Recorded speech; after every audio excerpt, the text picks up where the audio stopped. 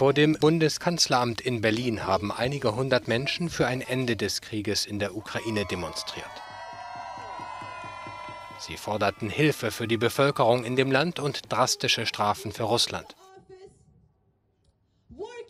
Am Sonntag nahmen nach Polizeiangaben zwischen Siegessäule und Brandenburger Tor mehr als 100.000 Menschen an einer Großkundgebung teil. Einige Flüchtlinge aus der Ukraine sind auch in der deutschen Hauptstadt eingetroffen. Wie viele kommen werden, wisse man nicht, so die regierende Bürgermeisterin Franziska Giffey. Die Behörden wollen sich auf die Aufnahme von zunächst 20.000 Menschen vorbereiten.